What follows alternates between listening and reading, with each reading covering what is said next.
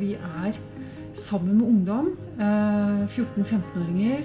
Folk som er her for å lære, for å være uenige. For å hygge seg, for å minnes, for å engasjere seg. Alt det der som er på en måte røde linja i demokratiet vårt. Og det er noe vi må få inn i skolen. Det er en unik mulighet til å få det inn i skolen. Jobbe med det. Noe som er viktigere enn noensinne.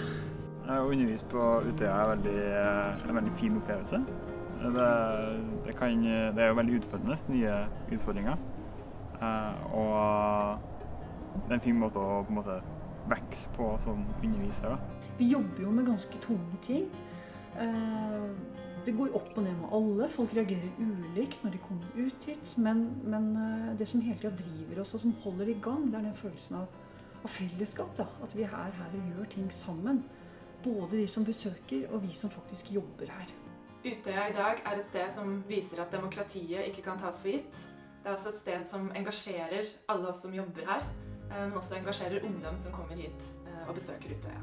Jeg liker å undervise på Utøya fordi det er et kjempefint arbeidsmiljø her.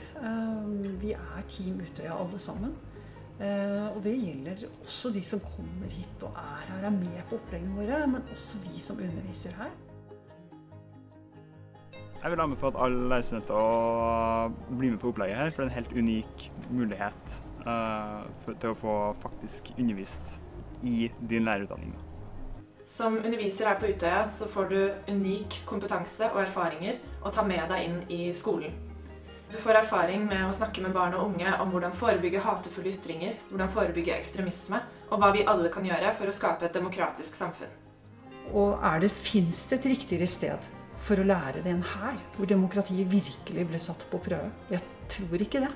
Så Derfor vil jeg oppfordre alle til å være med på dette, hvis du får denne fantastiske muligheten. For det er gøy og lærerikt og viktig.